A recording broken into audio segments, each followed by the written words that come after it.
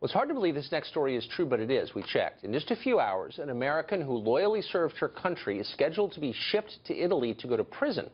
Sabrina De Sousa is a former State Department employee who also served as an undercover CIA officer.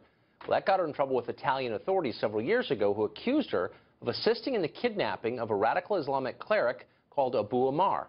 Italy, the nation that once jailed seismologists for not predicting an earthquake, and they actually did that, has handled De Sousa very roughly. She was convicted of kidnapping in absentia without being present to defend herself. And now she faces imminent extradition from Portugal to serve a four-year prison sentence in Italy. President Obama has granted, meanwhile, 148 pardons and commuted 1,176 sentences, mostly for drug offenses. But so far, he's done nothing at all that we know of to assist De Sousa, who served this country. Well, De Sousa joins us now via Skype from Portugal, where it's close to 3 a.m. Thank you for coming on tonight. I appreciate it. Is there anything about the intro that I just read that is false? You are right on the cusp of being extradited. Is that correct? Uh, that's correct. Starting tomorrow, I have no idea what's going to happen and the conditions under which I'll be once I get to Italy. It's horrifying. And considering you've already been convicted in absentia, it doesn't look good and you're facing a prison term. So this all stems from the kidnapping last decade mm -hmm. of this man, Abu Omar. Now, you were say you were right. skiing with your son on a ski vacation, a school holiday, when the kidnapping took place. But that decision was not made by you in any case, was it? Oh, absolutely not. And we, none of us had any input into the decision. The narrative at the time was Abu Omar was a dangerous terrorist and had to be taken off the streets of Milan. As it turned out, uh, a year after he was in Egypt, uh, where he was transported, um, he was set free for lack of prosecutable evidence against him. Hmm. So you've been convicted in an Italian court for this, mm -hmm. but your supervisors who made that decision back in Washington or Langley or back in the United States are free to travel to Europe. They've not been convicted. Is that correct? That's correct. And the reason we have state secrets and GLOMAR and all, and all of this is to make sure that they remain that way. Yes. So the Obama administration, Fox reached out to the State Department to ask, what are you doing to help your former employee? And they said this, quote, the Department of State takes its obligation to assist U.S. citizens overseas seriously. And yet it doesn't seem like they're taking your case seriously at all, are they? Well, the most they've done, uh, the U.S. Embassy in Portugal reached out to me to process me for this extradition.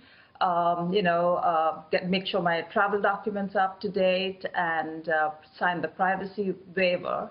And to me, the notion itself is a little bit surreal, right? Considering I'm not going as a typical American citizen who's been convicted of a crime, you know, like drugs or something like that. Uh, and this was an activity that was sanctioned right all the way up to the National Security Council. So why do you, I mean, presumably President Obama could get on the phone and say, I mean, we have military installations in Italy. You know, we do a lot of business with Italy. You may not do this. How's that sound? Has he done anything well, like that that you're aware of? No, I'm not aware of anything like that. And I think uh, one thing, Tucker, is that this entire fallout from this entire rendition has been handled by the CIA completely. The CIA has decided what goes to Congress, what Congress uh, is told, what not, what they're not told, who gets a pardon, who doesn't, etc. So, um, you know, I don't know how much uh, the president could have weighed in if the director, Brennan, for example, said, well, this is the way we're going to proceed with this particular case or the whole case itself. Um, and I think a large part of this as well is because of the Italian intelligence services. So many of them were convicted. In fact, one of them is the chief of the uh, Italian intelligence service.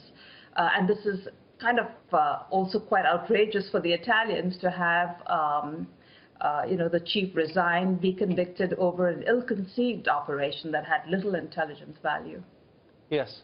You must feel betrayed. I feel betrayed as an American just watching you. Could, what do you hope that the newly installed President Trump will do for you?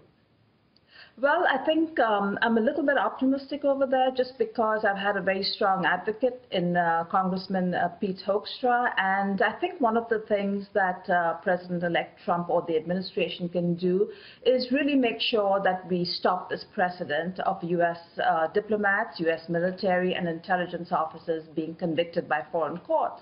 This case requires a proper investigation and accountability, and that needs to take place in Washington, not in a foreign court. So I'm Of hoping course. this is one thing that uh, the new the new administration does look into.